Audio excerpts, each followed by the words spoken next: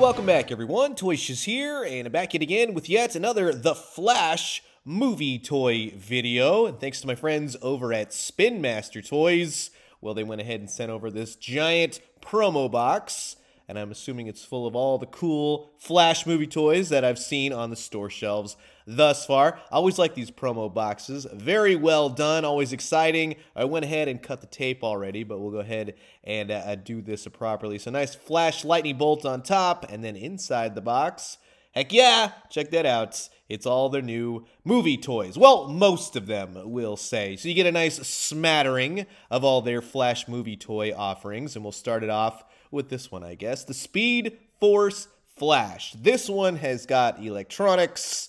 It's got a little try me button on there, a moi, right? 20 plus phrases, the whole shebang. Very cool looking if you're a little kid, right? These are more for the children. You go ahead and press the center. Yeah, he does a little talking, right? So that's not too shabby at all. On the back side, it shows you you can do the whole action figure posing. Again, good for the kiddos, right? When they see the movie, if they like the movie. Here's the barcode for this guy. Now, there are what I always seem to call nowadays the shampoo bottle figures. These are more in the 10 inch realm, which judging by them once in a while when I do see them, they're kind of either, yeah, that's not too bad, or, you know, I think maybe the kiddos may want something else, right? But if you're going to see the Flash, might as well pick up a Flash figure. Also, these tend to be on the cheaper side too, so if they break them, no harm, no foul. You got four characters in this particular lineup, and here's the barcode for these. The Flash is the top barcode. Now, more into my realm, and I've not yet seen these, so this was nice to get, so thank you again, Spin Master. These are their 3.75 inch slash 4 inch single carded figures. So you have the Michael Keaton Batman, which I was trying to find. Gonna add this to my whole Batman Michael Keaton 89 collection. You get the idea. There are five characters to get in this particular line, which includes Supergirl, Dark Flash. You have the Flash Young Barry version, right? And here's the barcode for old Michael Keaton Batman. Likewise with Barry Allen Flash. So you get a little Speed Force specs, get the same packaging, yada yada. Here's the barcode for Barry as well. And these have already started hit store shelves, but like I said, I've not yet seen them. However, I have seen these. This is a Target store exclusive. This was the Ben Affleck Batfleck along with the Flash, and you get the Ben Affleck motorbike, right? The Bat Cycle. So it is nice as a gift set. You get two figures. And what's nice about Spin Master is that they are on the lower end price point. So this set will run you about $22, which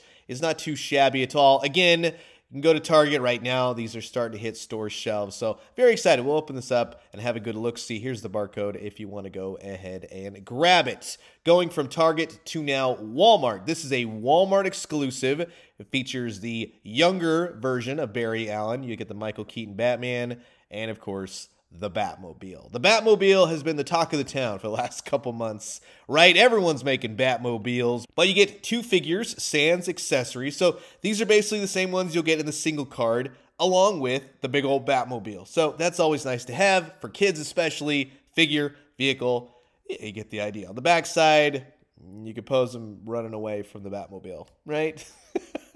That's not too shabby at all. Here's the barcode as well, Walmart exclusive. This will set you back about $24. And then everywhere, no store exclusive on this one, you have the Ultimate Batwing gift set, which has the Flash and Batman. So basically, there's two characters in the movie, Flash and Batman, even though it's kind of leaning to one side on whose movie it uh, really is, right? Wink, wink.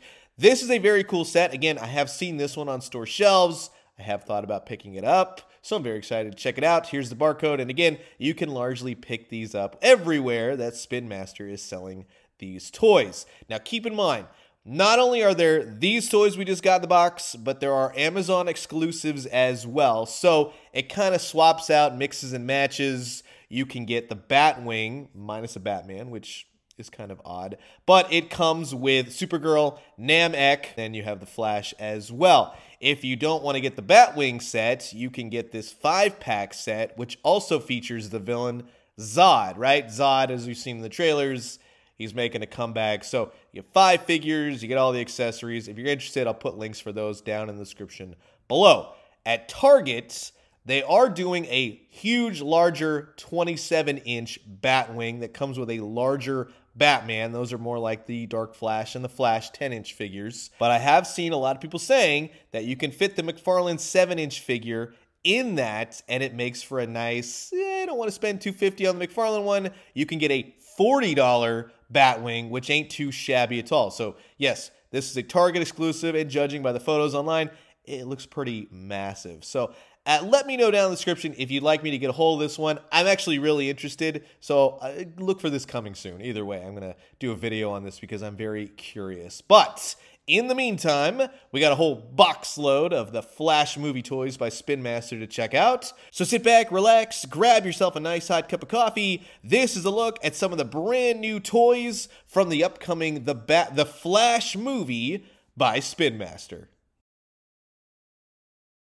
And while I got all you summer moviegoers here, I just want to say thanks so much for always checking out my YouTube videos. Now, if you haven't already, please do consider subscribing. Old toys, new toys, daily news updates. Guarantee you'll find something here that you like. So, eh, yeah, this is going to be fun. Here's everything out, and uh, we'll go ahead and kick it off with the larger figures. Now, I'm going to tell you right now, as a collector myself, these are definitely not my thing. But as far as kids go, you don't want to spend a whole lot of money on them these ain't too shabby at all. And they are larger, so for little kids, they get to do a whole lot more with them. It promotes creativity, it allows them to have some fun, and if they're over it in two seconds, it doesn't hurt the bank account. But I gotta tell you, this is the Dark Flash. And if I was a little kid again, and if I had my choice, I don't know if I'd pick this one. This one, you know, the paint is kind of okay. It's got a splash of paint every which way on the flesh part of the mouth. These things are very hollow. I can't stress enough that they're not ideal. The hands are weird. You even got like a sixth finger right there, even though it's a spike. I get it. Very curious to see how this plays out, right, in the movie. I have my assumptions on who this will probably end up being. Whether or not he's a villain, we'll have to see. You do get nice articulation out of him. It's very basic. Again, Think of it this way this is not a collector's line, which is good. This is for the kids, and that's okay. As far as the character selections, though, again, I'm going to pass on Dark Flash, and I would probably go for the Flash. Actually, take that back. I'd probably go for the Batman most of all. Everybody wants Batman. But this ain't a bad figure at all. And it has some nice sculpting to it. That's one thing I could say. Dark Flash is kind of wonky, at least this Flash has a little bit better likeness and whatnot. Nothing in the waist. You got the legs. Again, very hollow, right? I think that that's one thing. It doesn't feel like a hefty figure, but again, for the kids, for something to play with, if they want to mimic what they see in the movie, in the car seat, they fall asleep. You know what I mean? It's not much, but at least it's something to, again, have them be a part of the movie, and that's just really cool. And the sculpting is there, and it's enough to say, you know what, kiddo? I'm going for these more higher end collectibles, and here's what you get to play with. And that's pretty cool. So, moving on to the now 12 inch electronic Speed Force Flash. And this one is always fun because it talks and it lights up and it does all that kind of cool stuff. So, again, if you're not more for the more 10 inch figures. At least this one does something. It lights up, it's got electronics in it. It has basically the same amount of articulation to it. It's still light, still kind of hollow.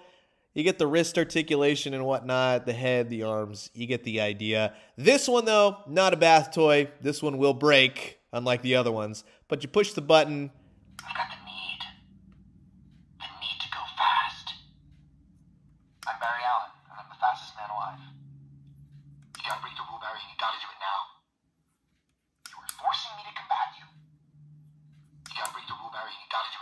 On the backside, though, this is going to be for the parents right here. Uh, you got the switch, which I highly recommend getting to know, right? You can switch over here, and this activates not only just speaking, but if you shake the thing, it starts reacting and making all kinds of movie noises and sounds and such. So, again, it talks, it articulates, it's got a nice sculpt to it. The back ain't too pretty, I'll tell you that, right? but it gives kids something to do. You leave them alone for who knows, five, ten, an hour, right? They could go to town, play with it. You walk in the room, they're asleep, and hey, everybody wins, right? So that's not too shabby at all. The one thing I will say though is that these toys they could be a little bit better in the paint, right? It's it's bare minimum. It's nice to see that yes, they are sculpting. Yes, it's something for the kids, and yes, it's just something for the movie to put out. Because as a society, our attention spans aren't what they used to be, and we're just moving on to the next movie, the next movie. You know what I mean? That being said, though, this toy can kind of get on the annoying side after a while. Even I was annoyed. So make sure it's off, or just remove the batteries, and kids could just play and put the voice in themselves. Right now. Moving on, we have the basically it's 3.75 inch slash 4 inch figures. I'm going to lean more towards the 3.75 inch because lining it up with Star Wars, Power of the Force, and all that, they kind of go more with that. So you got the two single figures. Flash comes with some Speed Force effects. Hey, that's not too shabby. And I like that they actually clip on. That's one thing I always point out with the McFarlane stuff.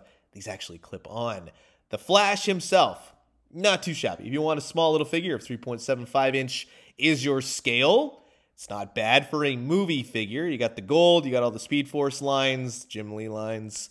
On the backside, though, that's where it kind of gets a little stark. I really wish the paint would have continued with all the lines.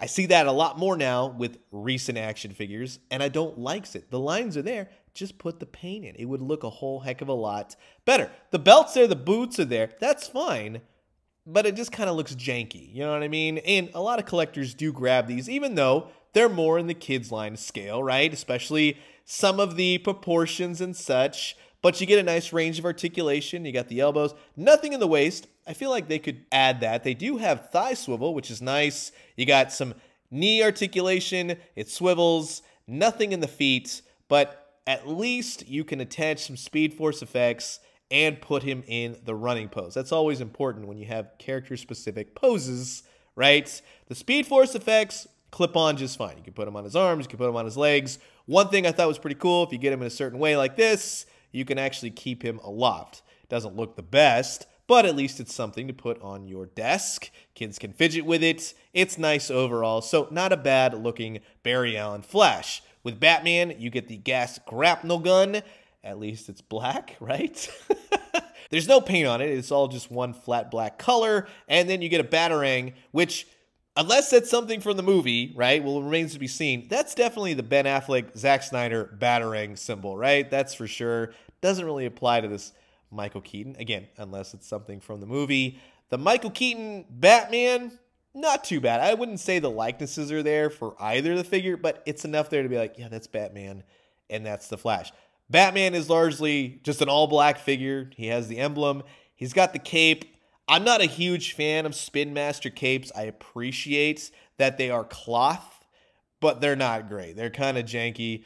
And I'm saying that for McFarlane too. Some of these more mainline toy companies, uh, they need to work on their cape technology. We're just gonna say, and the articulation is fine. This one, out of the entire box, is my favorite, along with some of the upcoming vehicles, which are uh, pretty darn cool. But you get thigh, you get the knees. It's the same exact articulation as the Flash, but for harkening back to, let's say, quote unquote, Kenner days, kind of, sort of, minus the capes not too shabby. And he holds the accessories just fine, right? That's fine for a basic style 3.75 inch figure. I'm glad that they included accessories. The Batarang, it is kind of awkward for him to hold. You move him around, it's going to fall right out of his hand. Now, I do wish some of these came with more projectile firing to really kind of harken back to Kenner, but you get the cape going, you put him on a rooftop, you fire the grapnel, and you're off. Now, moving into the exclusive realm, we have the Target exclusive three pack, two figures, and the Bat Cycle. This is going to be the exact same flash as you saw with the single release,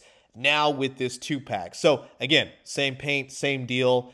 If you want to hold off, unless you want the accessories, get the gift packs. That's not too shabby. This is really the only way to get the Batfleck Batman, as of right now, is in this two pack. He's got the grays, kind of the blues, black costume that we see in the trailer, which I think is a little bit more spot on. The cape is atrocious. I don't like that cape. I don't even know what it is. The sculpt is there, and yeah, that definitely looks a lot more like Ben Affleck than some of the other companies. Ah, wink, wink. You can get his hands all ready to go because you're going to line him up with the bat cycle. So he's got enough articulation, the legs, the thighs, the knees, everything looks good. It's really not a bad looking figure unless you really start looking at the cape. That's where it kind of goes, yeah. And uh, I would say give him this Batarang because, yeah, that just fits a whole heck of a lot better. When it comes to the bat cycle, it's really not too bad a bat cycle, although it's very light. And that's something across the board for all the Spin Master vehicles. There's no heft to them, they're very light. The wheels spin, it does the trick, it's got paint. It looks good, and you'll be never the wiser. If you look at it in terms of, man, it doesn't weigh too much, it's what plastic is these days. I mean, that's really how it's kind of going across the board with all the companies. But at least it moves. You can push it around. Kids can have fun. And the best of all, Batman goes on there. Speaking of which, let's uh, go ahead and see how this works. Boom, there you go. Batman on the Bat Cycle. Just like in the trailer, now you just got to have the giant flying fox and have him launch out of there and do whatever he's doing in the movie. Again, I'm looking forward to that movie. The last trailer I just saw really got me hyped again. It was kind of, yeah, uh, kind of goes back and forth. I wish the head went up a little bit more for Ben Affleck. Kind of see where you're going, right? Because he's staring straight down. But I like overall that it stays upright. You can push him around. It drives. It does all that good stuff. So everything that a Batman and a Bat Cycle needs to be. So pretty good overall. Now, with the Walmart exclusive, again, two figures. You get the Batmobile. This is the Batman 89 Batmobile, which assuming makes an appearance in the movie, right? Something's under that tarp. You have the young Barry Allen in the Batman Returns suit. You see how they cut the ears off, he spray painted everything. Again, I'm saying all this as if I've seen the movie. I haven't. Just making the assumptions as we've all kind of seen in the trailer. So, not too bad. This one being one of the better ones for the 3.75 inch line. Again, same exact articulation and whatnot. You don't get any Speed Force effects, but if you have the singles with the accessories, you can go ahead and clip those on there. They look just fine. But Overall, compared to the McFarlane one, if you've seen my other video, I think this one came out a little bit less goofy looking. You get the same exact Michael Keaton Batman as we've seen across the board thus far, so nothing new here. You can interswap all the accessories if you want. You can put a Batman in this Batmobile, have Batman standing outside it, so you don't have to continuously swap them out. Just stick with one. Just get the one you like. And uh, across the board for all these sets and whatnot, yeah, you can pretty much make a complete collection of the characters. The Batmobile, though, it's it's hard to turn this one down. When you see that in the story, you're like, oh man, that's pretty darn cool. And I think in this size, you get a little bit more paint. You get the wheels that turn. It just looks really cool. Again, harkening back to the days of Kenner, kind of, sort of. I do wish that this had more functions and features. This will run you about 25 bucks or so in the store. It's very light, it's very hollow. It's very much the kind of feeling of a bath toy, you know what I mean? Which, hey, kids, you could take that in the bath. I used to do that all the time with all my different Kenner stuff as a kid. Inside, it gets very simplistic, which, again, is not a bad thing. These are the kids' versions for these toys, which is totally fine. Not everything has to be collector friendly all the time. In fact, collectors you can collect them. It doesn't matter. Uh, they don't have to say collectibles, right? Batman, once you get them all situated, the cape is kind of cumbersome getting it in there. He looks great. Although, I will tell you this while that thing slides and it drives and it does all the good stuff, I do wish Spin Master would have ended up making this a two seater. I think they missed a couple opportunities to kind of have some kind of functions and features and missile launchers, something like that. Because otherwise, it is cool to put figure in vehicle, but that's really it. And kids these days need a little bit something. Collectors need a little bit something, but you can have Flash run alongside it, and we're off. Now, the Flash, we've seen this guy over and over and over again. It's the same exact figure, and of course, he comes with this massive Batwing along with Batman. So you get the exact same figures that we've seen before over and over again, mixing and matching. It's not a problem, but you're going to end up with a lot of Batmans and Flashes if you get everything. Batman fits right into the Batwing, which is pretty darn cool. For the most part, it is pretty movie accurate, at least for what I can tell and for the effort and time I wanted to put into this. It's the toy, so don't think too much about it. The cockpit canopy does come a little bit too close to the front of the Batwing. I wish it did have, again, missile launchers, electronics, something like that, just to kind of give it some extra oomph. but I like the colors to it. It is very light, it's very hollow. But again, it's good for kids to drive around the room and make noises and have some fun with it. God forbid, right? It does have three different landing gears, which you can pull down, push up. Looks very cool. Kind of stark on the bottom. And I, I know this may blow your guys' minds, but the bat wing is in the shape of the bat symbol. I was completely blown away myself. For those of you wondering, yes, Barry Allen Flash can fit. Any of the figures can fit in any of these vehicles. So just remember that. Now, in terms of size comparisons, again, 3.75 inch for the Spin Master, and then moving up, you've got the 7 inch scale for McFarlane toys.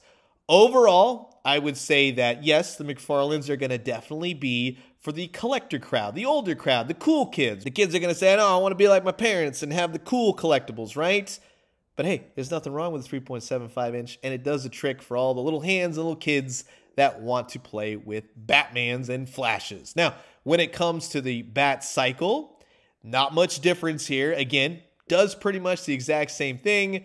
Extra articulation, a little bit more heft, although not by much. But regardless, if you went McFarlane or Spin Master, you're going to have a lot of fun because that's basically what we see in the film. When it comes to the Batmobiles, a lot of people have said, ah, the McFarlane one is kind of janky. Well, that canopy color is definitely janky, I will tell you that. But regardless of which one you get, they're both toys. These aren't the most high end collectibles ever, they're on toy store shelves. Not everything has to be collectible. But regardless, if you go more for the McFarlane or the Spin Master one, the chicks are going to dig the cars, right? They always dig the cars. Now, just to kind of show you scalature with other lines, you have the Star Wars Retro line, you have the old Toy Biz Batman, you have the Spin Master, you got Kenner, and then you also have Moose Toys. And I particularly love LeBron as Robin. If you don't have LeBron as Robin in your collection, what is your collection anyways? And just to kind of show you scalature with some of the older Kenner vehicles, these Spin Master figures will indeed fit in them. Some of the things might be a little bit oversized, but to be honest with you, I think he fits rather nicely in there. And you fold down the canopy, bingo bango, you're off to fight Zod or whatever this movie will be. However, I do want to point out one thing. The Batman figure line that Spin Master did was one of the best. I think they absolutely nailed it. This Batmobile is fantastic. It's got dual doors. You can put two figures in there. But best of all, it's got a lot of heft and a push button to activate sounds and lights and everything else. And I really do think that with the Flash movie line, it's just kind of okay. It's not their best, if I'm being honest with you. Their Flash movie line has a lot of great stuff. It does the trick, but I'm going to be honest and say it's kind of the bare minimum. We just wanted to do figures and here you go. It's not a knock. I'm not overly criticizing, but I do, uh, but I do wish that for these more children's toyetic toys, there was a little bit more fun to be had. There's just kind of figures and there's vehicles. Yes, so much fun to put figure into vehicle, but there's no rocket firing, projectile, sounds, anything like that. So it kind of falls flat. Again, yes, they did a great job. They've produced toys for the movie. Kids can go out, watch the movie, buy the toys. But I do feel like it's lacking the oomph that the Batman movie toy line had. In an odd way, it's the fact that I got to the McFarlane stuff first, and now seeing the Spin Master, I'm like, well, now it's just kind of a smaller carbon copy. You know what I mean? So for the next movie, I would like to see a little bit more brought to the table. But overall, if you're a kid, if your parents buying for the kids, you'll find something here that you like. So I'm going to leave you guys with that. As always, drink some great coffee, eat some great food, but most importantly, remember, I really have some high hopes for the new DC Comics Blue Beetle movie. That looks pretty cool. But in the meantime, we got some Flash, we got some Batman, and here's hoping this one rocks. And when we do, let me know what you found. I'll talk to you guys soon. Adios.